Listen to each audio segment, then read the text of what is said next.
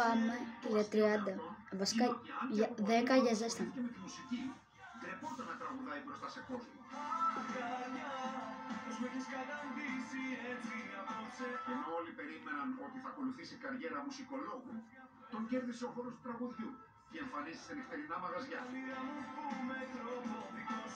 Σήμερα, πλέον, η μόνη τροπή που μπορεί να νιώσει είναι αν ανέβει σε κάποια σκηνή και δεν τραγουδήσει. Βγαίνω, πίνω, ξενυχτάω Με ένα σπίτι μου γυρνάω Κι άμα δεν με θέλεις εμείς Μαζί μας, ο Γιώργος Λιβάνης.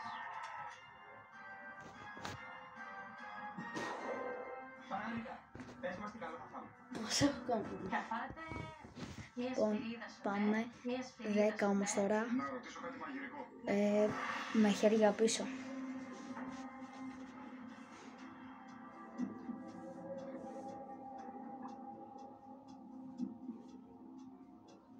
Να ρωτήσω κάτι μαγειρικό. Ναι. Τι σκουλάρια φοράς; Τι σκουλάρια φοράς;